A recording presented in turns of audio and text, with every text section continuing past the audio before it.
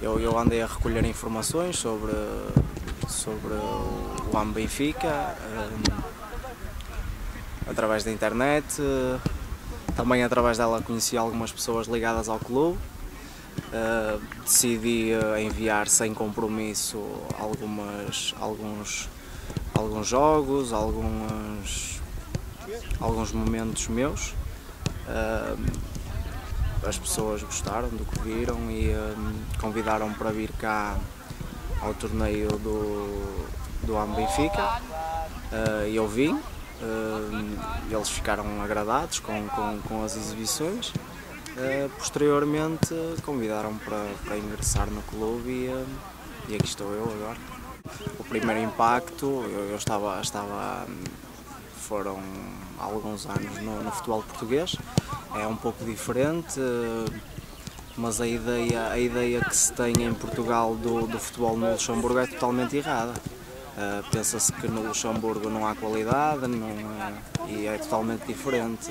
Eu já sabia para o que é que vinha, sabia que havia, havia jogadores com muita qualidade. Uh, claro que, claro que, que o, futebol, o futebol aqui é, é mais à base do francês, é mais físico eles, eles fisicamente são muito superiores a nós.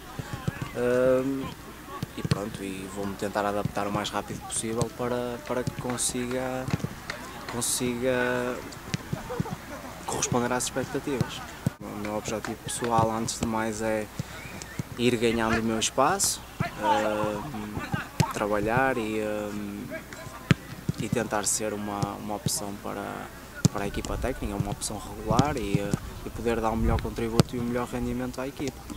Quando, quando surgiu esta oportunidade, tratei de, de, de, pesquisar e vi alguns vídeos e vi alguns jogos da equipa no YouTube e, uh, e pronto, e fui, fui ao site que, que, tem, que tem lá o nome dos jogadores e conheci, conheci, uh, conheci alguns porque, porque depois vi, vi os vídeos dos jogos né, da, da, da equipa. Sim, nunca joguei nunca joguei, vai ser, vai ser uma, uma surpresa e vou. É como digo, lá, lá em Portugal, eu, eu, eu, sou, de, sou de Braga, sou do Norte, também faz muito frio e uh, faz muita chuva, é um inverno muito rigoroso também. Uh, na neve nunca joguei, mas também não tenho, não tenho qualquer tipo de problema.